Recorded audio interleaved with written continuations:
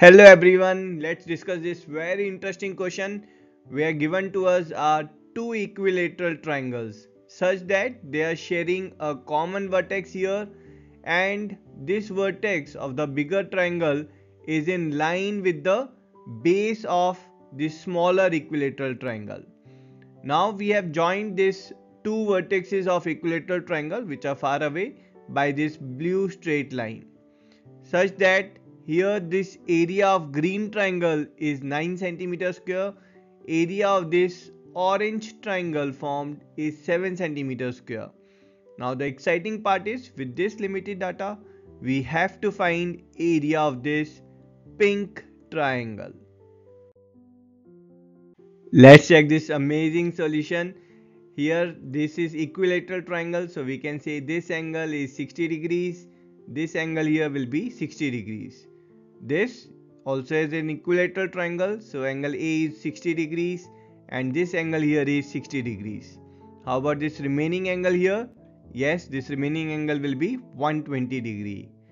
Now if you can make an observation with respect to this pink triangle, your angle E plus angle C, this is 180 degree and we know that in a in a quadrilateral if opposite angles are supplementary then it's an cyclic quadrilateral because it's a cyclic quadrilateral so we can draw a circle passing through all the four vertex E, D, C and A.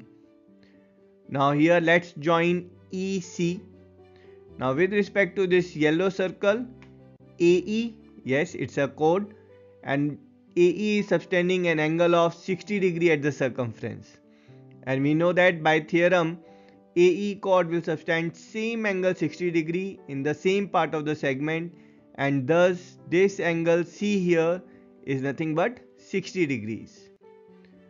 Now if you look at AB line segment AB and line segment EC here they are cut by AC so with respect to AB and EC AC is the transversal and these two angles they are alternate interior angles and they are equal. We know that if alternate interior angles are equal then these lines have to be parallel lines.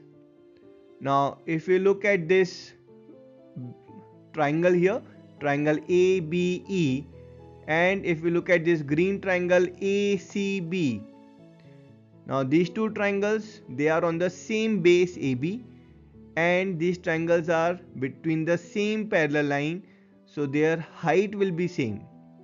So two triangles with same base and same height yes their area has to be equal.